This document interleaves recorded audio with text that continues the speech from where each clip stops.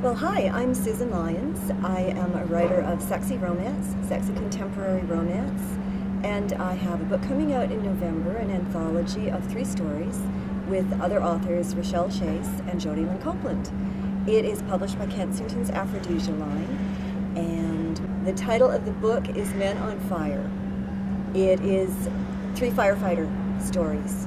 Mine is called Too Hot to Handle. It's about a woman named Jade Rousseau Jade wants a career promotion, and in order to do it, she believes she needs a fiance.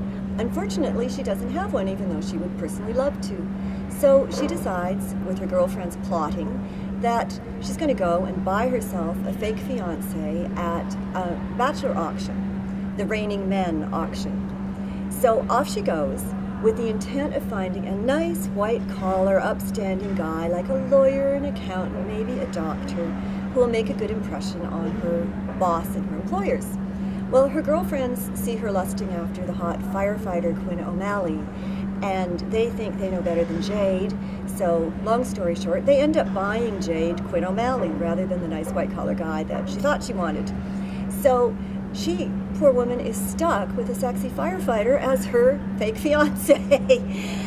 and it is a romance. I write romance, so there are happy endings. So you can kind of guess uh, where that story goes. It's an attraction of opposites, really. And Jade ends up at the end of the story with a real fiance.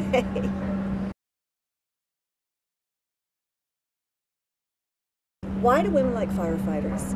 Uh, I found that they're one of the most popular heroes I've written when women see a collection of books on the shelf, they head for the one with the firefighter cover.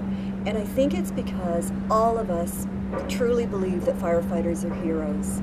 There are a lot of other occupations that are very heroic, but firefighters who go into burning buildings, put their own lives at risk, and pull people out, it's a very powerful image. And we also tend to think that they're all hot and sexy. Of course, in real life, they aren't necessarily, but the ones in our books are because it's romance.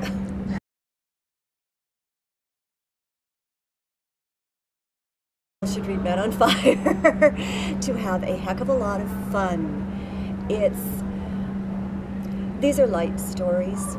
They're fun, sexy, um, emotional, passionate stories, and I think virtually every woman of, of any age would really enjoy. It's a, it's a treat. It's like a box of chocolates. Let's just sit down and indulge. the idea for this story, my, my story Too Hot to Handle, it's actually been kicking around in my mind for, mind for a while. I knew I liked writing firefighters.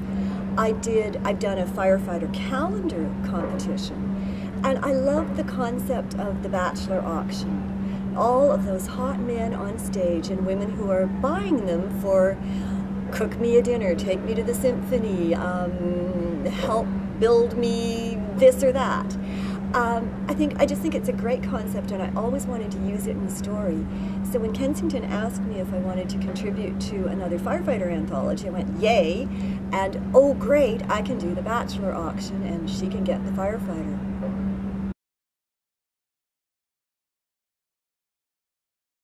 I came to writing a little bit late in my life. I was one of those people who wandered around trying to figure out what I wanted to do. I got a law degree, I got a psychology degree.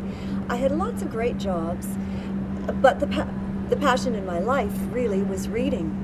And at some point it dawned on me that somebody wrote those books and I was an intelligent, educated woman. Maybe I could do that too. So I began writing.